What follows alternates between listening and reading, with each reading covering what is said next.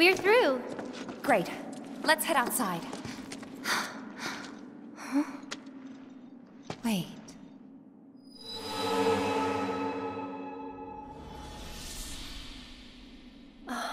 A girl?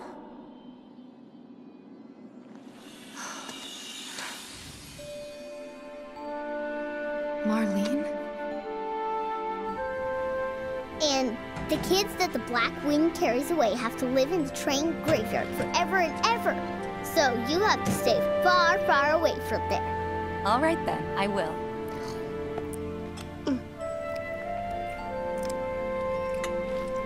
Oh, you know Betty? Yesterday she went with her daddy to to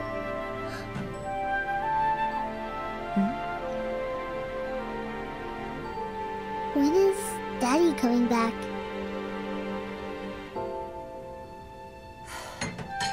Actually, he might not make it home tonight.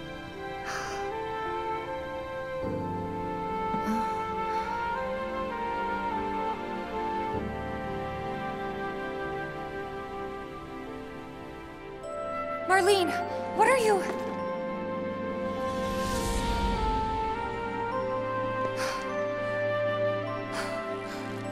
We can't waste any more time here. What was that about? Nothing you need to worry about. Let's get going.